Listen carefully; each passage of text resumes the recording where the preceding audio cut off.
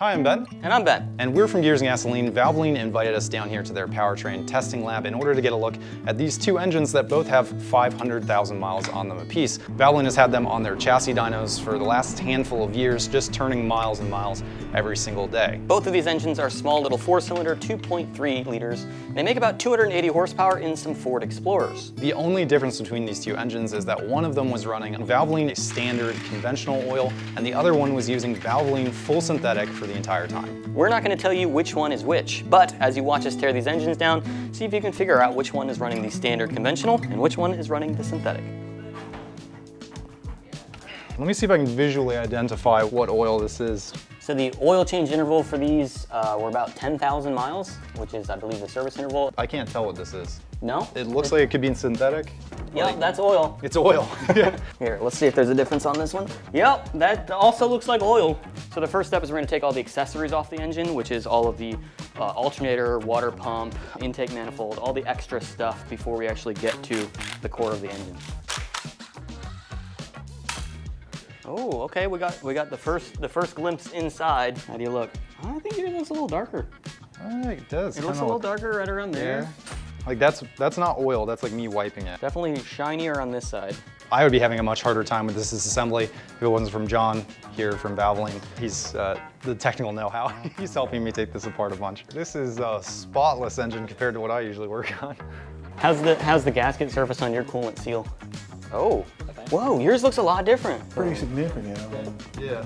This is not a coolant test by any means. Both engines ran the factory coolant, and it is surprising how much more like tarnished that this engine is with the coolant. You know, I've kind of been with the project since we purchased the Explorers New in 2020. So we actually went with a cycle that's, uh, it's kind of based off of a standard cycle. We actually modified it a little bit. It's, it's not like just flat out cruising all the time. It's actually going down to idle and ramping up and come back down and ramping up. So it's like stop and go, like a normal person would have experience. When we first started, we ran everything exactly how Ford specified, so 10,000 mile oil drains. You know, we were sampling every thousand miles. Ben, how does your belt look?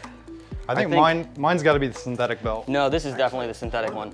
Yeah, the see the wear from um, the synthetic oil on the on the belt Uh, was you much can better. see way way less varnishing on on mine. These are actually drive-by-wire, so we put in some uh, voltage isolators and actually set it to directly to the throttle pedal. We drive it by wire, just electronically. No drivers, just computer controlled.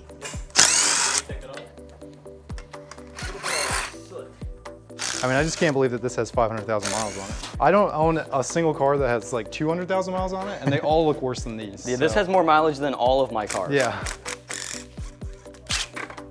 Ben, what does your Hmm? your filter line look like? Whatever this is. Pretty dark in there. Yeah, yours looks better than mine though. Does it?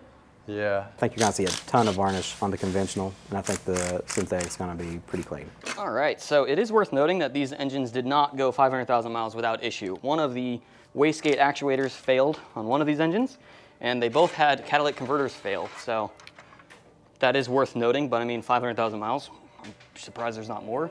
Yep, that's a turbo. That's a, that's a hefty turbo, It's a pretty big turbo. I'm most impressed by the exhaust outlet size. right? Yeah. Pretty cool. Now, Ben, it is worth noting, uh, just took the turbo off, and the, the side of the engine is much more oily than your engine. yes. Uh, your engine looks like it has 50,000 miles on it, and this looks like 150. It's worth noting though that both of these engines had their own individual tiny little failures over the course of testing. Yours had a uh, front seal leak, which probably explains how all this oil got flung back here. And then this one had a rear main leak. Pretty much the whole test, I never referred to what oil was in which, just to kind of keep the uh, mystery alive, even amongst everybody here at the lab. I was really mainly the only one that knew which one was which. When we were taking them apart, I guess it kind of came became apparent which one was uh, the synthetic. You wanna take off the valve cover and really see what we're working with? Let's unseal it. Okay.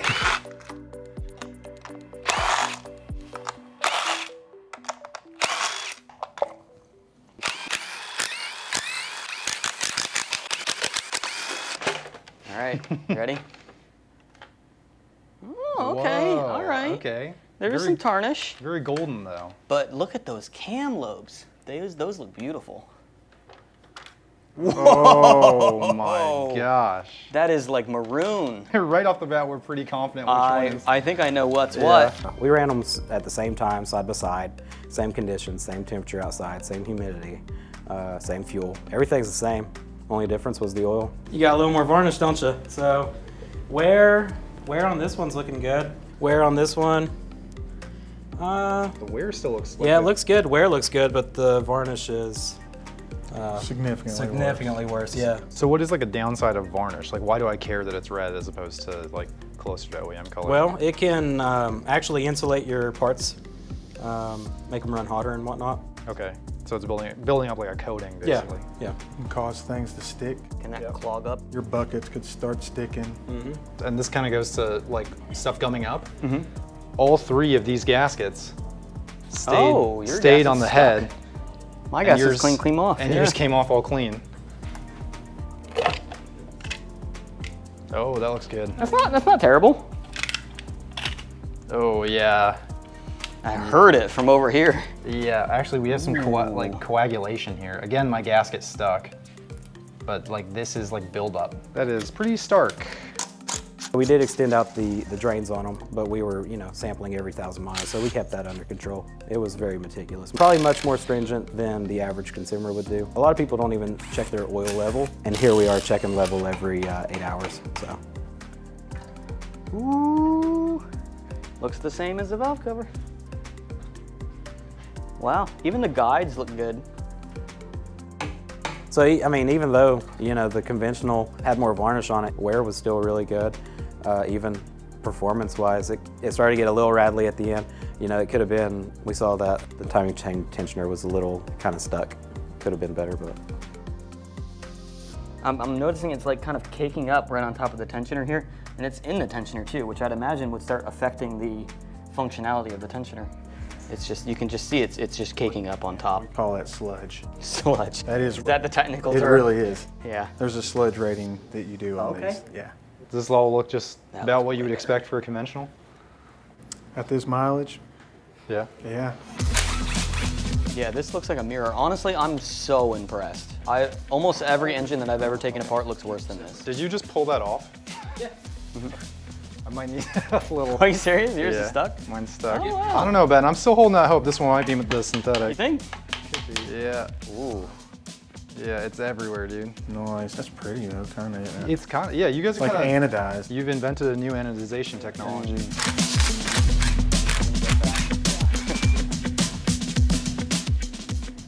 Didn't stick coming out. That's good. I would hope not.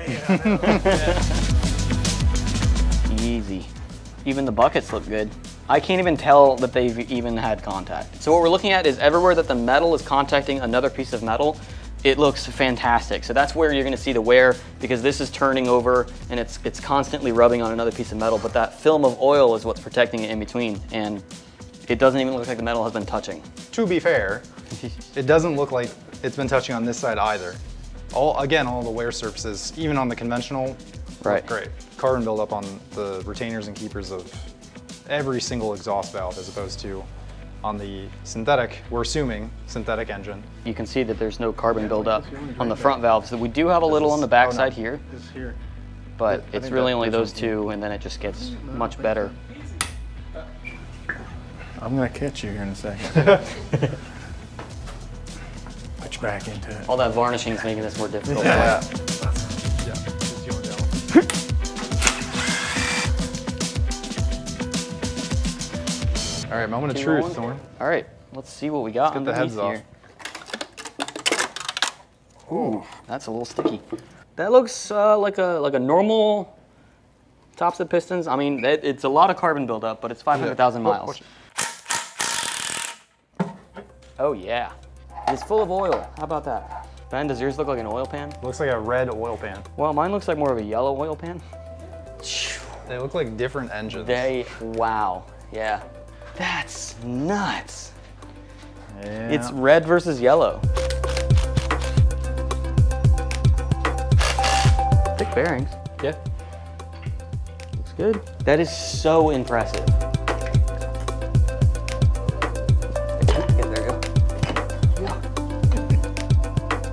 Even though we saw the synthetic perform, you know, great, conventional was still uh, Valvoline formulation. We made a little more varnish, a lot more varnish, but still the wear was great.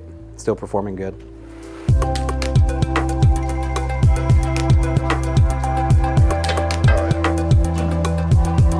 Oh, perfect. Mary Mary stayed. Ours did too. Yeah, so this is just like a little example of bore polish. And bore polish in, in our testing world is those areas that are instantaneously recognizable as a mirrored finish. So when you look around, everything looks matte, and then boom, you see that really shiny spot. There's a little bit right on the ring reversal here, a little touch of bore polish. But I mean, these engines had good combustion. Yeah. So that's that's why it's not crazy. Okay, yeah, so here we're evaluating the oil pans off these two engines.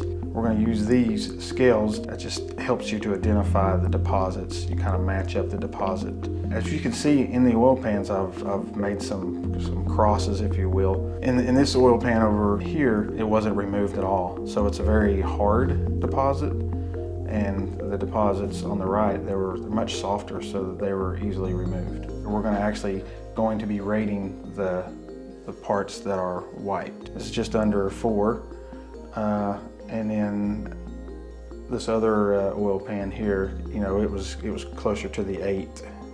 And looking at the rest of the engine, it's going to tell the same story through all the parts. They're all pretty identical in deposits. The rough estimate rating here, I mean, you would be like in the fours with this, like going back to our varnish scale. And this one here is, you know, seven and a half. The big takeaway here is this one, you noticed we've removed the rings and that's, that's standard protocol. You remove the rings so that you can evaluate the deposits um, behind the rings. And in this piston here, um, the rings are stuck in its groove. Uh, that's due to the deposits uh, forming in there and it's kind of pinching the rings, if you will. So this second compression ring and the, the oil control rings are stuck, which uh, in any testing is an automatic fail. But uh, we, we, uh, we just leave those in there and evaluate around them. When you have rings like this that are cold stuck. You know, it might not be such a problem right now, but in the near future, they could turn into hot stuck rings, meaning that those rings will still be stuck in its groove while the engine's under normal operating temperatures.